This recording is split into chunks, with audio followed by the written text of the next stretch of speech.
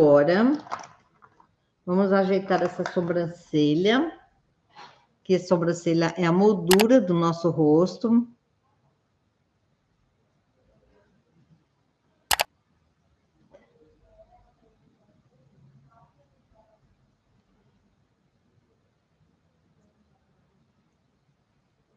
Esse lápis que eu estou usando é um lápis da Ruby Rose de sobrancelha. A cor dele é C1, tá? C1.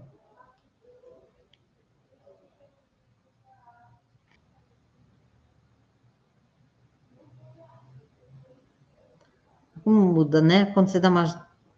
Quando você contorna a tua sobrancelha. Fica tão lindo.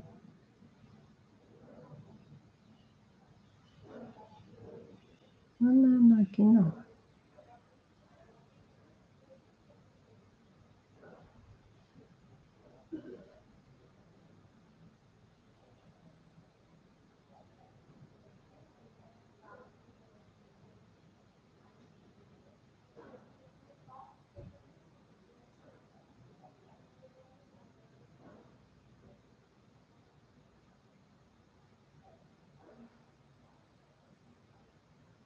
Por enquanto eu uso da Catarina Rio, que é o que eu tenho, que é de sobrancelha também.